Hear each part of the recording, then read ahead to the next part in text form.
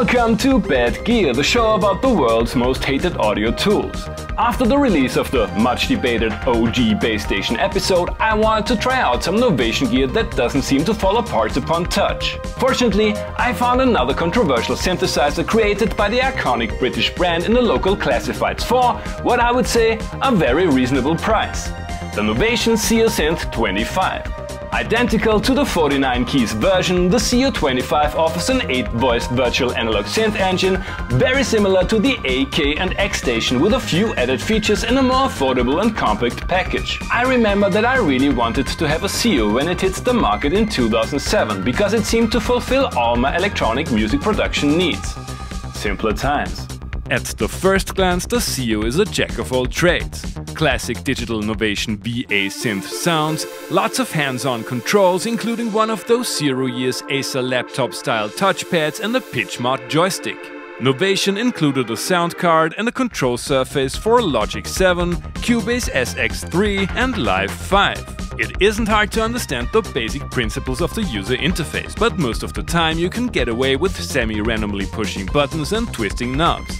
The synth offers an extensive FX section, an arpeggiator, and the X Gator, a rhythmic gate that lets me think of balls to the wall trance and Timbaland R&B. Those among you who can actually play them keyboards will appreciate the sustained pedal input. Compared to the OG Bass Station, build quality went from wobbly to flimsy.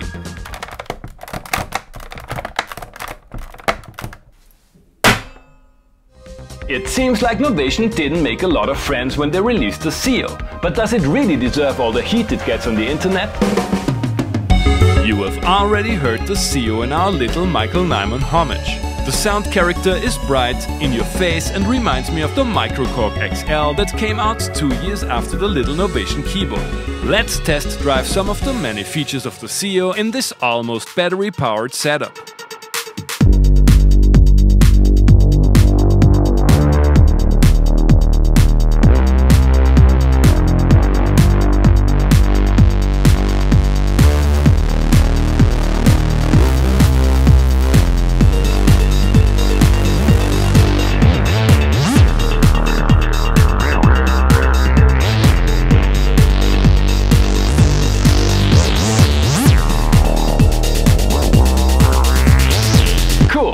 Xio is not a Moog, but the sounds are fun to play and tweak. I couldn't find any drivers for the audio interface that are compatible with my laptop, but the class compliant mode worked okay, albeit with greater latency. I would love to use the synth and its X-Gator effect in a DAW-less jam with the OG Bass Station, but no MIDI in. Please ignore the laptop acting as a MIDI through box.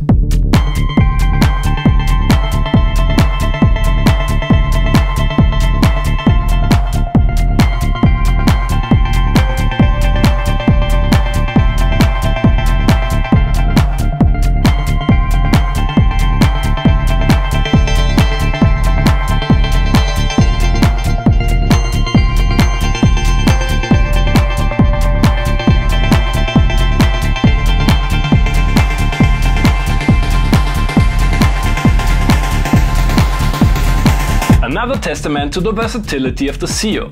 The XY pad is nice for some quick and dirty tweaks, but it has its limitations when working on more delicate sounds. The X Gator is easy to set up and I'm still waiting for those rhythm gate effects to come back in style. I really like the Xio's pad sound. Let's listen to one of those classic Novation tones in this laid back shuffle groove.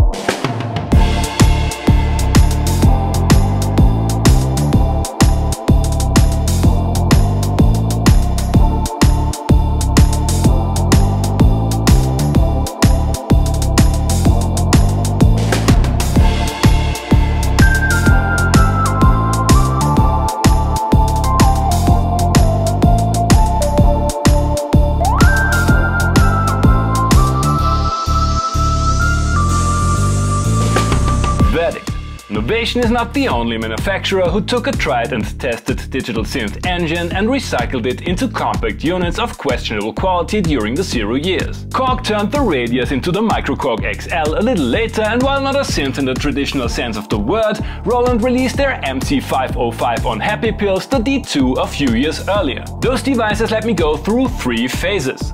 1. WTF is this? 2.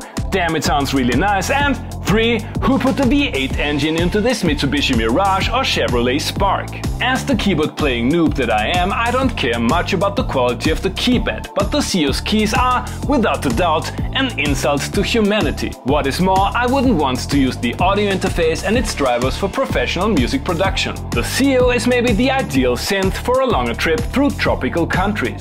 It's compact and lightweight, it offers everything you need for making music, you don't care that much about build quality and drivers when chilling at the beach and drinking coconut water, and my heart would not break if the seal was either stolen by the Angkor Wat monkeys or puked on by western tourists at a full moon party on Koh Phangan. Thanks for watching and see you next time.